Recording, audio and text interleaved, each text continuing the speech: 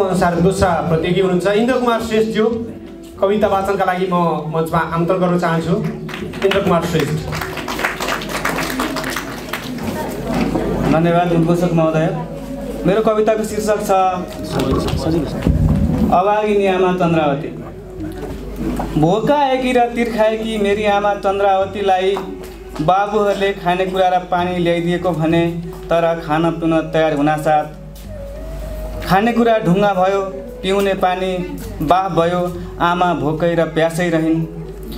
जाडो र गर्मीमा नाङ्गै हिँड्न विवश मेरी आमा चन्द्रावतीलाई छोराहरूले कपडा ल्याइदिएको भने तर आमाले खुसी भएर लाउन खोज्न साथ कपडा काँडा भयो आमा नाङ्गाको नाङ्गै रहन्।